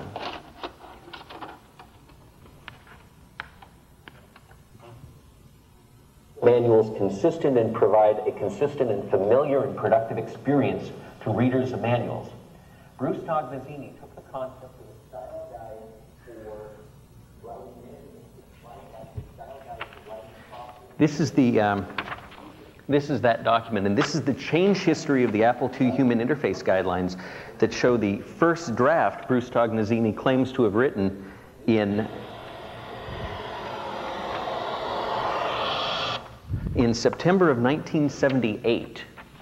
Uh, second draft in um, March of 79, third draft in mid 1980, fourth draft with Steve Smith in early 1981, and then it got into the Macintosh group in 1982. Uh, I started working on it in late 82, and that's when I incorporated many of the things from the, uh, the LISA efforts. And then it moved back over into the uh, Apple II group to cover the Apple II graphic user interface. But it originally started as an Apple II text human interface document. Um, and it came originally from Bruce's efforts with J.D. Eisenberg uh, writing an application called Apple Presents Apple which was the main in-store or first user demonstration program for the Apple II. Uh, Bruce started out, well, I don't know where Bruce started out, but when, we when we encountered Bruce Tognazzini in his long and checkered career, he was the proprietor of a computer store in San Francisco, which is where the Apple Corps of San Francisco used to meet. And that's how he got into the Apple community by selling Apple computers. So he had frontline experience of what happened when a person encountered a personal computer for the first time. When he came to Apple, he started writing demo programs with J.D. Eisenberg. And one of the things that they did was they tested on real users in real situations where you bring somebody who's never seen a computer before, much like uh, the LISA group was testing people off the street or new employees, put them in front of this program and gave them no advice whatsoever. Uh, I'm going to read, uh, Bruce tends to philosophize a lot in this, so it's not going to be as uh, useful to put up slides, but I'm going to read to you some of his experiences um, from the, um, here we go, from user testing. Uh, our testing method is as follows. We set up a room with five to six computer systems. We invite groups of five to six users at a time to try out the systems often without knowing that it is the software rather than the system we are testing. We have two of the designers in the room. Um, any less and they miss a lot of what's going on, any more the users feel as though there's always, always someone breathing down their neck. The initial ground rules are that no questions will be answered as by the time the formal testing begins, we can supply a draft of the manual. Usually by the second group, some glaring defects in the interface have shown up, and we have to give them help getting past the stumbling blocks. 95% of the stumbling blocks found are found by watching the body language of the users. Watch for squinting eyes, hunched shoulders, shaking heads, and deep, heartfelt sighs. when a user hits a snag, he will assume it is his fault. He will not report it, he will hide it. Make notes of each problem and where it occurred. Question the users at the end of the session to explore why the problem occurred. You will often be surprised at what the user thought the program was doing at the time he got lost. Herein follows a true anecdote which illustrates how difficult the most simple human interface issue can be and why thorough testing on real people is so important. As we tune in, it's so easy to entertain a crowd just by reading something Bruce wrote. As we tune in, the authors of the software, both of whom pride themselves on clever interface design, have anguished for hours over difficult passages in their program. It was to turn out their it was to turn out their guesses were quite accurate in said difficult passages. It was the simplest question of all that caused the problem. In Apple Presents the Apple IIe, the training program for teaching fundamentals of using the new Apple IIe, find out if the user is working with a color monitor. User profile, new owner, customer in computer store or member of a class, learning how to use an Apple computer, test user profile, customers in a computer store, non-computers in a classroom environment, friends and relatives. First design, a color graphic is displayed on the screen. Prompt, are you using a color TV on the Apple? Anticipated problem, those who were using a monochrome monitor in a classroom or a computer store situation wouldn't know whether the monitor was black and white or was colored with the color turned off. First attempt to color graphics displayed prompt, is the picture above in color? 25% failure rate. Reason, as anticipated but incorrectly overcome, those seeing black and white thought their color might be turned down. They didn't answer the question wrong. They turned around and asked one of the authors whether the monitor in question was color or not. A decision was made the authors could not be supplied with the disk. Second attempt, a smaller graphic with large letter words in their own vivid colors was substituted green, blue, orange, magenta, which were the only colors the Apple II could display. Prompt are the words above in color, color failure rate, color TV users none, black and white monitor users none, green screen monitor users 100%. this is why it pays to have a variety of configurations in your test suite. Third attempt. The graphic remained the same. Failure rate uh, prompt are the words above in more than one color. Failure rate, color TV users, none. Black and white monitor users, 16%. Green screen monitor users, 50%. Reason, the black and white monitor users who answered incorrectly admitted they did so on purpose. 50% of the green screen folk considered that they were looking at both black and green, two colors, and answered the question accordingly. Fourth attempt, same display of graphic and colored text prompt are the words above in several different colors, are the words above in several different colors. Failure rate, color TV users none, black and white monitor users 20%, green screen monitor users 23%. By this time, the authors were prepared to supply everyone who bought an Apple with a free color monitor just so we would not have to ask this question. It turns out about 20% of the people were not really reading the question and were responding to, are the words above several different colors? Well, yes, of course, green, violet, red, there's several different colors. Let's move on. Fifth attempt, same display of graphic and colored text. Prompt, do the words above appear in several different colors? Failure rate, none. Um, in, it, in, case it appears the authors were simply dull fellows, be it known that this was a fully interactive training program in excess of 100K of code. Remember, it was a 128K machine, so. And this was the only interface issue that required more than one correction. It clearly exemplifies how even the most careful designers can totally miss when guessing at how users are going to respond.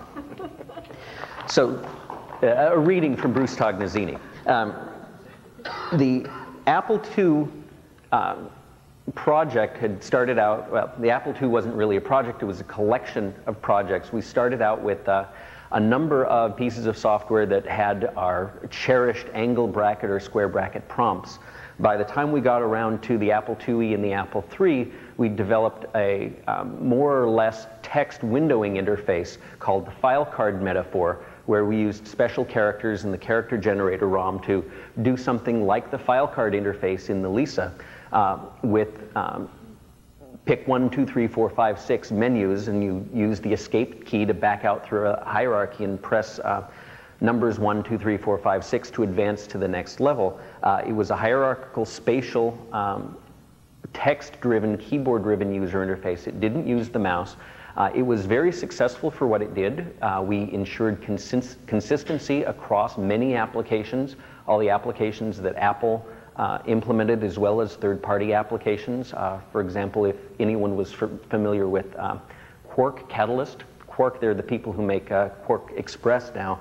They made the original um, hard disk manager for the Apple II and the Apple III, and it used the same interface. Uh, it had consistent use of the keyboard keys. The Open Apple always meant the same thing in, in, in different applications. And so even though it was a text interface, it had many of the underpinnings of the consistency of the graphic user interface of the Macintosh, and it was driven by uh, the exigencies of uh, user training, uh, which was my mother's group, because the less time we had to spend on user training, the cheaper and faster it was, and if the software were consistent, the training went more easily. Uh, it was driven by the, uh, the exigencies of publications, which was the group I was running, and one of the problems we faced in publications was that uh, having not invented desktop publishing yet, we had uh, six weeks minimum from film to printers, which was usually the time that was reserved to write or finish the software. Um, and we often had to be finished with the manuals several months before the product shipped, which uh, in the software wasn't finished at that point. So in order to have um, manuals that accurately reflected what the software was going to do, we had to have the programmers tell us what the user interface was going to be. And then in going through that with the programmers, having them do it the same way that other applications did it gave us a more full idea for, okay, it's going to do this, it's going to do this, it's going to do that, uh, if they followed some standard or some guidelines. Uh, in fact, what Bruce did before writing the Apple II Human Interface Guidelines and what the origin of this document was, was in fact a uh, publications style guide, which was how we wrote manuals and how we explained portions of the human interface and explain portions of uh, how you use the computer. And by using consistent explanations, that drove consistent design in, in some of the applications. Uh, so that was some of the origins of user testing and of uh, uh of consistency of user interface design in the Apple II group. Um, as I said, it moved into the, the Lisa group started with a separate, um, a separate angle from which Larry talked about coming from the uh, Xerox PARC.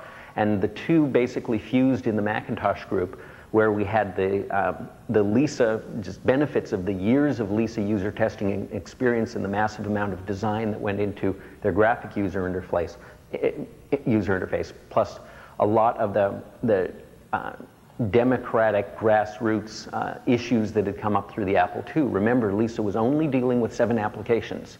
That was all you got on a Lisa. The Macintosh was designed like the Apple II as something where you had many, many applications from third-party developers. And so we took the Lisa user interface, grafted it on to the guidelines that had come out of the Apple II style guide and Apple II guidelines efforts, and published that for third-party software developers to use as style guides for their own applications. I remember very, very, very clearly that uh, one of the massive controversies around the uh, development for the Macintosh circa 1982, 1983 was developers would come up to us and say, you know, if you make the user interface consistent, and if you put all that software in ROM that makes it you know, if you make it hard to write to the screen directly so that we have to use your user interface software to talk to the user, how are we ever going to make our applications unique and stand out and be different from each other in the marketplace? They found a way. I'm very happy. But um, the, the human interface and the idea of a consistent human interface, much less a graphic one, was very, very controversial among software developers. And only by having the user testing uh, under our belt to show them that hey, this is going to add significant value to your product by making your product easier to learn and easier to use, especially for people who already know another application, were we able to really convince them that a consistent graphic user interface was a good thing to have.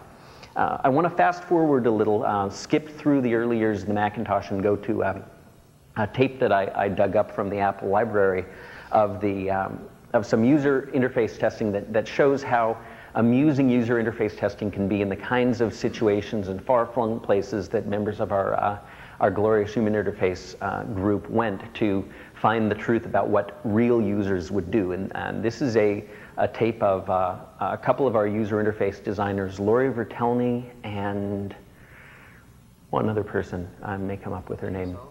Uh, I don't think it was Gita. Uh, traveled to France to a, a parts dealership for Renault automobiles who were deploying a new uh, automotive parts catalog based on HyperCard.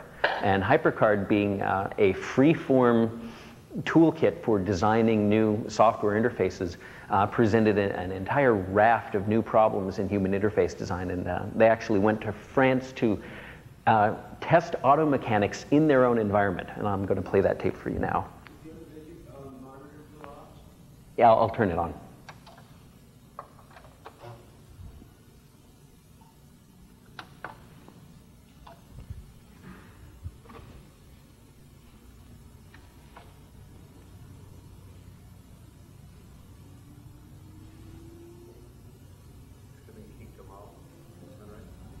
It might have been Kate Gomoll, yeah. Okay. Thank you, Annette. Was that Annette? Oh, it's Joy. Hi, Joy.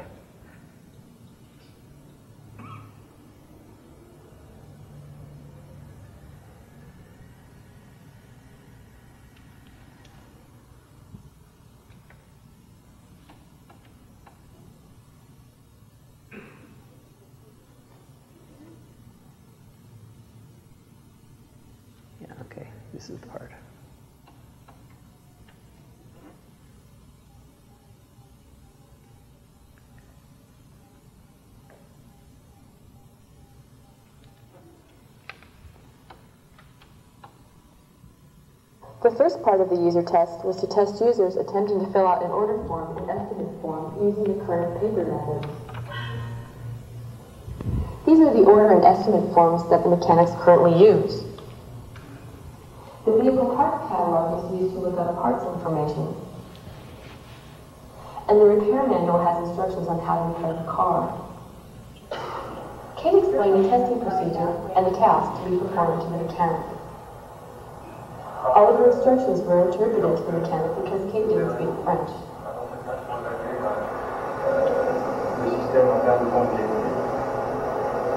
If you have trouble with some of the tasks, it's the system's fault, not yours. Alors si, vous arrive de, ressentir une difficulté du système au cours du test, c'est essentiellement la faute du système, pas la faute du tout. He the mechanic as he attempted to perform the task.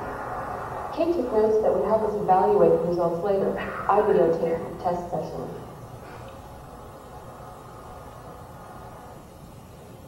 Seeing the mechanic work with the paper helped us to understand how he preferred to view the information. For example, he stacked the forms on top of the catalog and flipped through pages while he was searching for the information. These search techniques helped us to make design recommendations for searching with the electronic version of the form filling process. Once we finished testing the current form filling procedure, we asked the mechanic to solve the same problem with the documentation of the electronic system. At this point in our test, the user has tried for almost 10 minutes simply to start the system. Kate finally instructs the user that he must click on the tiny icon below the Renault logo to start the system. The interpreter wants to know if he should explain the pop-up menu that lies below the start icon, and Kate says no. User clicks on the icon knowing nothing about how to use pop-up menus and initiates a dialog box which explains to him that he needs to hold down on the icon. Of course, the mechanic's never seen a dialog box before and is confused, not only about the message inside of it, but about what to do with it. He finally realizes that he must click on OK to get rid of it.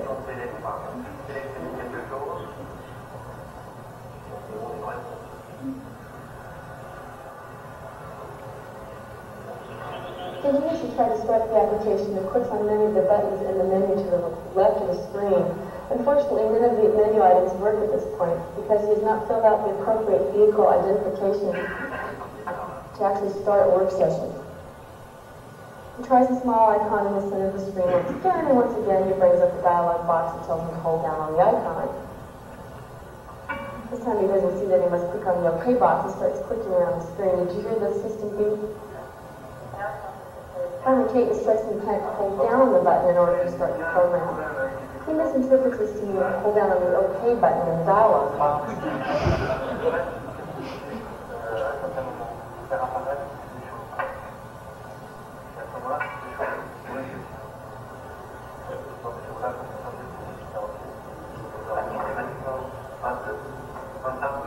Lots she's gonna hold there.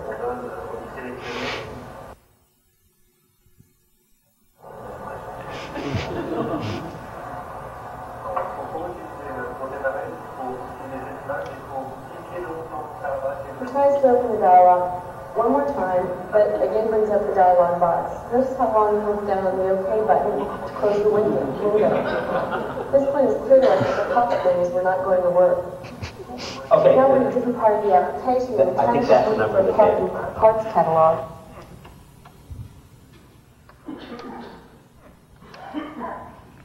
So that just, uh, I think, is an illustration that uh, of two things: one, that bad design knows no bounds, and and two, that uh, that you never get a user interface right, and that uh, user testing from the earliest times when you have a, a, a totally unsaturated market of people who've never seen personal computers before, much less mice, keyboards, screens, things like that, to um, today when we assume that anybody uh, who's ever you know, been in Western society has had to have encountered a personal computer at some point and knows the basics of um, pointing, clicking, dragging, pressing, what a file is, what a document is, how to print, why to print, uh, what a floppy disk is. Um, I mean, it, I, I still find it surprising that we don't uh, talk about sectors and cylinders anymore on disks, which was one of the main things we had to explain in 1978, 1979, uh, because there was some reason you needed to know that. I forget why.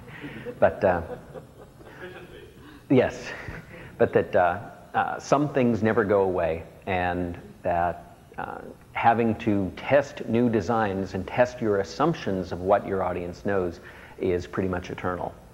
So at that point, having run uh, pretty late, I think Larry and I will take a few questions, and I think that we are going to take free liberty to defer to several people in the audience who are noted in Apple human interface history. I see uh, Joy Mountford and Annette Wagner back there, uh, who've been uh, instrumental in human interface groups in the past. And if there are any others, uh, and if you have strong opinions, disagree with us, um, have more information than we're able to supply, supply please chime in. And Larry, do you want to pass the mic around so people can uh, ask questions in the mic? Uh, I think we'll just repeat the question. Okay. Uh, hello? Hello? Okay, that works. Well, you're close enough. Here. Larry, I, I, wonder if you could comment on the story that's often told that Apple ripped off the Xerox PARC work. I know Jeff Raskin has refuted or denied that, but it's such a popular story. Could you go on record as giving your perspective?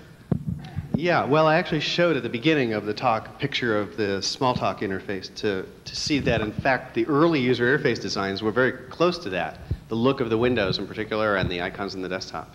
Uh, but it evolved over time, and uh, you know the menu moved to the top of the screen and so on. If you actually look at either a Xerox Star or a Smalltalk screen, and then look at a Lisa or a Mac, I think you'll see a lot of differences. Uh, what was taken was the concepts, the concepts that there ought to be overlapping windows, that there ought to be uh, direct manipulation, and so on. But uh, the Xerox Star, for example, didn't have the concept of dragging things, and it had two-button mouse. You'd click one place and then click another place. It uh, didn't have a menu bar. In fact, there was only one menu that was added late in the development, and um, it, uh, you know, but some things were similar. They were there was a horizontal and a, and a vertical scroll bar. Uh, so certainly the concepts came largely from there, but as you see, some of the concepts came from other things, from HP systems, UCSD, from Apple II, uh, from some work that was done at IBM that I didn't talk about today, that was published uh, around uh, the late 70s. Uh, so there were a lot of origins for it. I think the Xerox work had a lot to do with it. But um, usually when the, if you sat down to try to use a star or a Smalltalk, you would find that there were, I think, more differences than similarities in what you would actually see and do. Yeah, go ahead.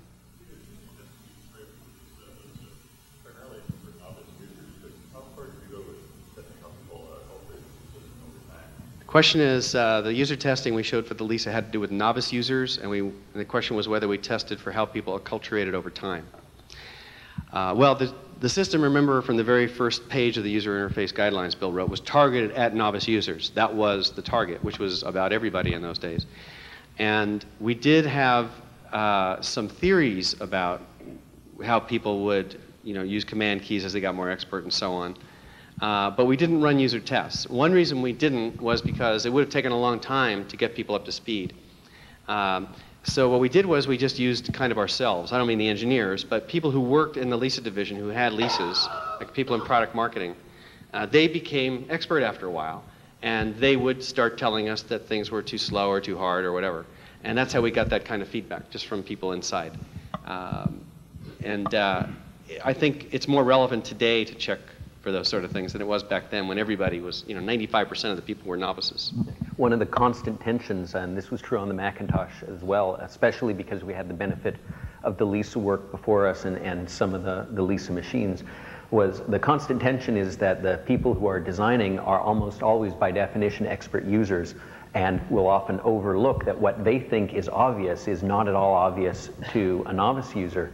Um, and so there, there's constantly the, um, the dilemma which you've seen historically in Mac system software that the expert users want to put in the features they want to use, but the people who want to keep the system pure for the novices want to resist those and, and if you're lucky, you get a system that is easy to approach for the novice and gradually unfolds itself for the expert. And if you're unlucky, you get a, a lukewarm mediocrity between the two where it's a little too complex for the, um, for the beginning user to understand, but still not nearly powerful enough for the expert user. And, and some of our designs and some of the industry designs have been one gradually unfolding and others have been just plain mediocre. I, I have a, uh, an observation and, and then a question. Uh, Larry, Larry and I have known each other for years since, since the Xerox days. And uh, it's, it's interesting to me that, uh, for one thing, uh, you folks weren't aware, aware of the similarity to the WordStar commands that already existed in the WordStar editor for you know, copy, uh, cut, paste kind of things. Uh, but also, I think the, the word assumption is, is key. And what you just said is very correct. Uh, people assume that as they're developing something that they know the best way to develop it rather than go outside and, and get other information. You know, the, one of the things that we've, I've seen as a software person in, in the past, uh, having to do work for people for money so that they expect us to have something done by a certain time, I mean, not for a company that I'm working for, but for as a consultant, is that they really do expect the thing to work the way their people want it to work. And uh, there you have to really do a design review and, and, and, and all sorts of things with those people first before you, you get to the right setup before you can actually start actually writing code. Um, and, and one observation about the Lisa that was very interesting when I first saw it, I first saw it, I think, at the um, West Coast Computer Fair in, in, San Francisco. Steve Jobs was there. Uh, I don't know who else from Apple was there other than uh, marketing staff. But I'd gone there with a friend from Xerox, and we looked at the STAR system, and we'd actually looked at the Fortune, which was the mm-hmm. system, which was the first 16-bit personal computer that was available. And they had a very fancy, you know, display and so forth, and everybody was looking at it, and it was beautifully designed and, every, and everything else, and it ran CP/M, or their, and Unix, a version of uh, sort of Unix there was one test in the software uh, work that we had done uh, for, for real customers, you know, who really wanted reliable software, uh, that we'd accidentally come upon, which was called the keyboard mush. You take your hand and you run it across the keyboard a few times, and you see if your software is still running. and I told this friend of mine from Xerox about it. So he walks over to the Fortune system on the big podium up there with the pretty girl standing by it, and he tries it, and the thing dies. So we kind of sneak away. And we go over to the Apple booth, and there's Steve and the other folks there, and we decided we weren't going to try it on the Lisa. So in reaching for a brochure, though, I accidentally touched the upper right portion of the Lisa keyboard. Uh, they were networked at the, at the show for demonstration of networking. It brought down that Lisa.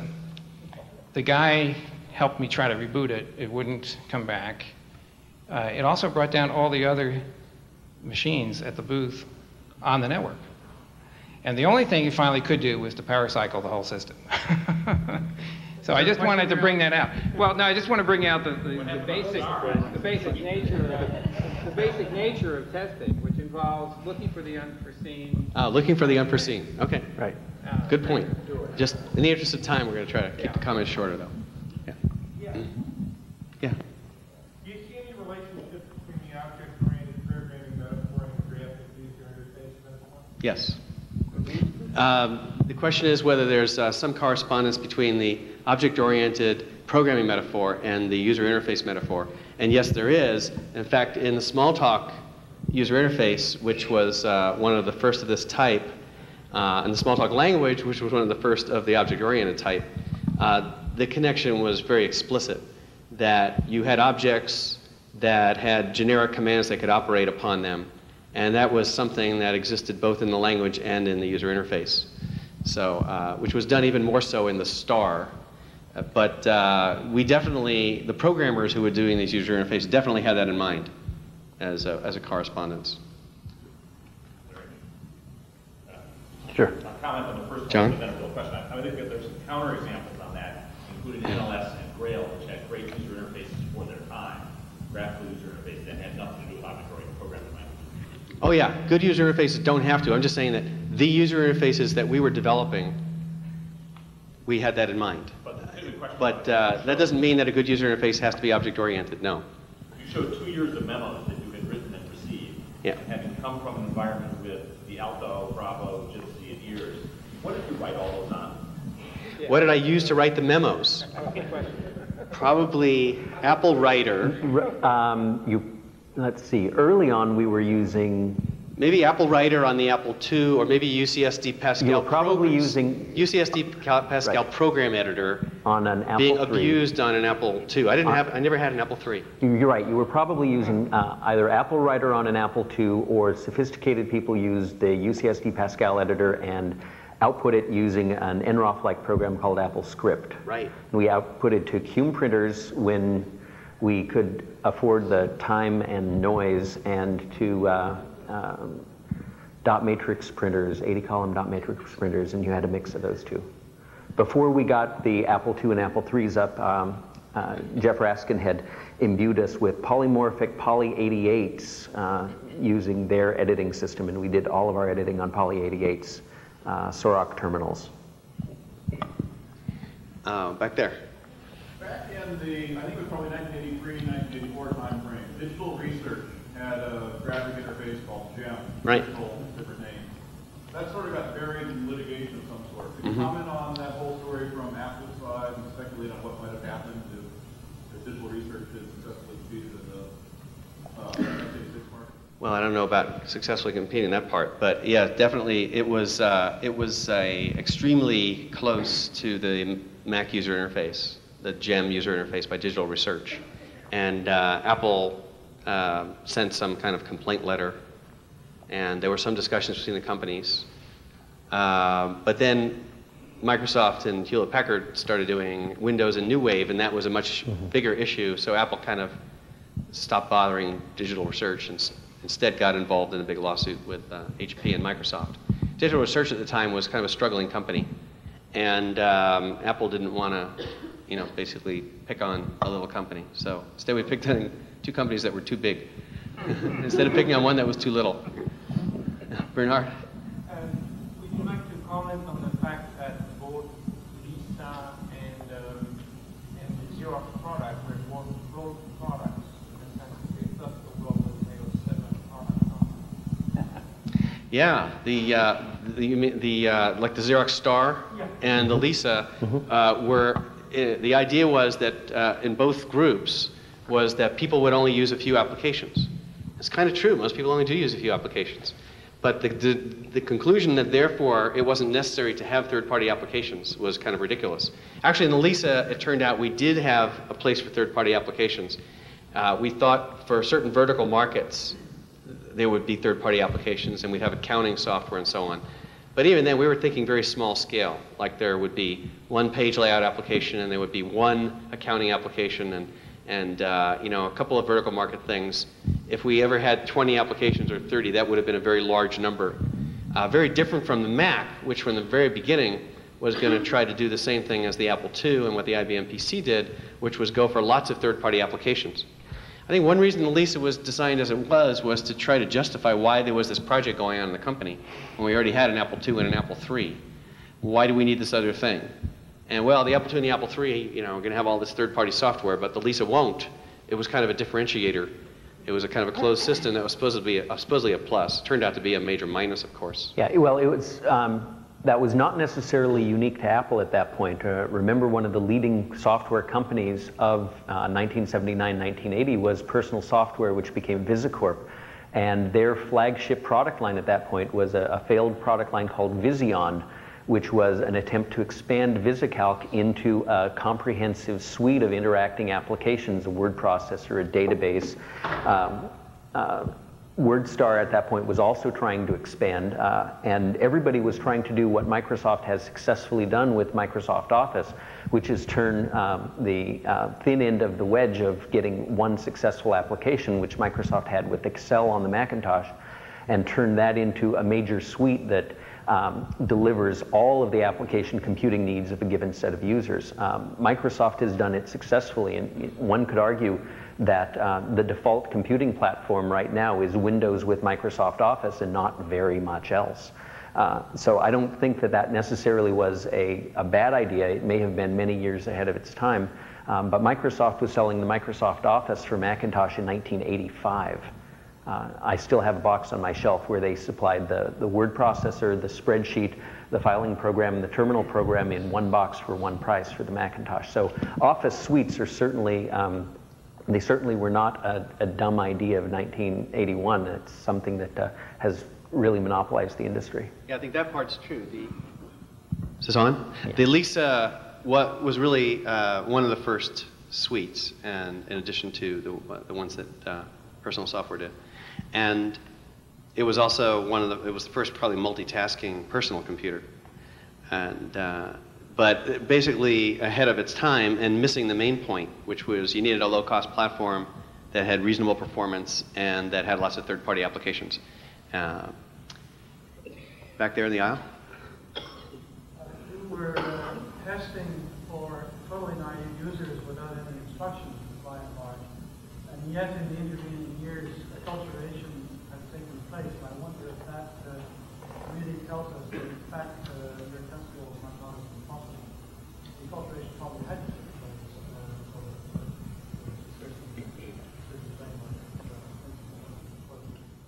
The, the point is that we were testing in the early years for totally naive users and that over the years, uh, acculturation has taken place, as I talked about. Uh, more people approach computers with, with less fear and with more pre-knowledge of what they're doing. Is that your general point? Yes, and that pre-knowledge came from a process of a decade or more uh, of yeah, and the process came from a decade or more of experimentation. Well, uh, I'll tell you about an interesting user experiment that I did um, in 1982. Uh, I took a early prototype of the Macintosh, and it was then in a uh, plexiglass case, uh, just cut panels of plexiglass, um, filed and glued square. We didn't have any of the injection molded cases yet, with the guts inside. it was um, running an early version of Mac Paint, which it um, which was called Mac Sketch at that point, and it was a turnkey application. You put the disk in, you booted it up, and it went straight to that application because there was no Finder at that point, which was actually the paradigm of most other machines, which was turnkey boot. You put the floppy in and you booted it and you got into that one application. Um, and I took it over to uh, my girlfriend's parents' house for Thanksgiving where she had a three-year-old um, nephew, three-year-old nephew and this was in 1981. Video games weren't even that, hadn't even gotten down to three year olds by 1981. That boy spent four hours drawing with Mac Sketch. He learned it uh, in no more than 15 or 20 seconds. Uh, just, you know, you press the button and draw things on the screen. And he was drawing things with, with uh, an early version of Mac Paint with virtually no tutoring and almost no language at all. Um, with no, cult, with no acculturation at all. So there were some things that we got basically right about human human factors. If you can appeal to a three-year-old and get a three-year-old with no language skills to understand how to do something productive in no time at all, that's not a cultural statement. You've done something right in design. And um, that's when I knew we were really onto something. I don't think it's had no effect. I think what acculturation has done is it's um, it's got it's made us soft. We don't address complexity anymore the way we we sweated over complexity in 1981. We were well, deathly afraid of complexity. We take it for granted now. You'll look at fries; it's scary. The kind of things we get away with. I think uh, it has made some things hard to change. When Microsoft announced they were going to go to single clicks instead of double clicks on the desktop, some journalists said, "See, they're leaving Apple in the dust. You know, you're still in two clicks and they're moving to one." I said our users have been on, the, on this, doing this for 12 years. There's no way they're going to change. We're never going to change it. And uh, maybe the Microsoft users who've only been doing this for a couple of years can change. But as it turned out, even a couple of years using Windows 95 was too much. And, uh, and Microsoft had to back off on making users use single clicks in uh, Windows 97 because even two years was too much. People won't change. Uh, we're out of time now, But uh, uh, there are some people here who were involved in Lisa user interface work all the way from the Apple II, the Lisa, and the Mac. Thought maybe they could stand up. And uh, Annette Wagner, especially, who was uh, worked on the original Lisa look and graphics and fonts and everything. And uh, Joy and Bob. I mean, why don't you all stand up, all you Apple user interface people? I think some of the users out here might appreciate you. Bob Glass, you still here? Stand up.